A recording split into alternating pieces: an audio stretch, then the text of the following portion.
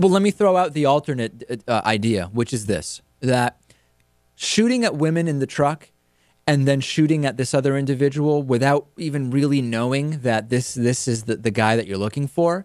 To some people, it suggests that police want to silence Dorner for some reasons that are unknown at this point. In other words, that there has to be more to it for police to be um, shooting a truck from the back 30 times in a rush to kill whoever is inside before even engaging the fact that engaging who's inside, which happens to be two women, there must be some other reason we don't know about why this guy speaking out is something LAPD doesn't want. It's very conspiratorial, though, because Well, I imagine what else could it be? He's already said why he thinks LAPD mishandled his employment there. What else could there really be that isn't in his manifesto? Yeah, I mean, he did speak of, of corruption, right? Yeah. Yeah.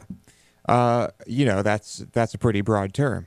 Um, maybe maybe things were as crazy as uh, as he claims they were. Maybe they do want to silence him, but open fire on a different make, different color truck with Doesn't a, make sense. with a, a short, thin white guy in it. I Something mean, about it doesn't make sense. yeah. Uh, I mean, even though it's very clear that these cops are not elites uh, in any way, um, this still seems out of the ordinary, even for a completely paranoid cop going on a manhunt. Exactly. Even by that standard, which is an unfortunate standard that we are now familiar with, it still seems seems off. Now, here's the other thing. Let's address very quickly, guys.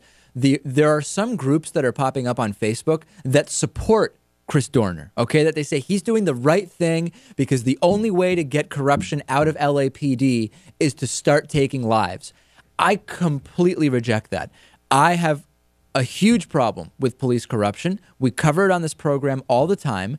We, uh, what else? I mean, it's a problem we're aware of and we're, we don't shy away from it. In fact, we're often criticized for being too hard on so called police corruption when sometimes it's just stupidity. It's not corruption, it's just stupidity or ignorance.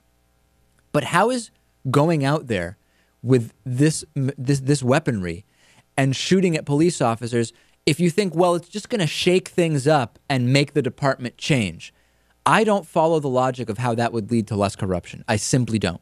Yeah, can't you just call the FBI? Well, no, I mean you can't because we know about how these internal affairs things go. But Natan, do you understand what I'm saying? E- even if you agree that the, we need to solve the corruption issue, how is one guy, a former LAPD officer, shooting shooting up police, going to really solve corruption? It seems to me like the only way to get at police corruption or really any major issue that's going on is to get a broad base of public support. And it seems like armed conflict is not the way to get broad public support. No. If anything, I would support protests, civil disobedience, um, lobbying Congress, but definitely not, or state, state and local government too. But definitely not, uh, you know, fighting with arms against quote unquote tyranny or anything No. along those lines. Very curious to see how this turns out. though. Yeah, same here.